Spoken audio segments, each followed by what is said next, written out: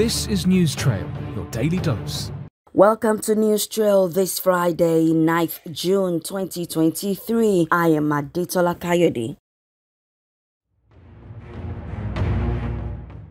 President Bola Ahmed Tinubu has signed the constitutional amendment bill unifying the retirement age and pension rights of judicial officers and other related matters. While signing the amendment bill into law, President Tinubu pledged his administration's dedication to strengthening the judiciary, ensuring the rule of law, and empowering judicial officers to execute their responsibilities effectively. Meanwhile, the president has met with a group of great politicians within the People's Democratic Party PDP known as the G5 governors. Former governors Nyesom Wike, Samuel Ortom, Okezie Ikpeazu, Ifeanyi Ugwuanyi, and Governor Seyi Makinde say they will continue to meet with President Tinubu on the way forward on nation building, which they say is a difficult task but one that requires constant evaluation.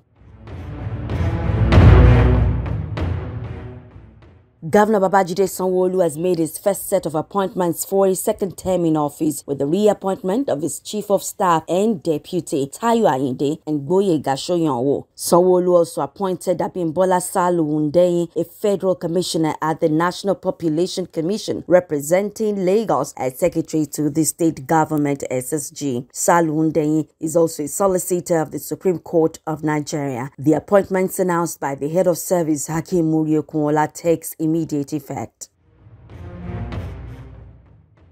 Former U.S. President Donald Trump has been charged over his handling of classified documents after he left the White House. 76-year-old Trump faces seven charges, including unauthorized retention of classified files. The charges are not yet public. It is the second indictment of Trump and the first ever federal indictment of a former president. He is campaigning to make a return to the White House in 2024. Legal experts say the indictment will not limit Mr. Trump's ability to run for presidency again. Trump, however, posted on social media that he is innocent and had been summoned to appear at the federal high court in Miami, Florida, where he will be arrested and hear the charges against him. He said he never thought it is possible that such a thing could could happen to a former president of the United States.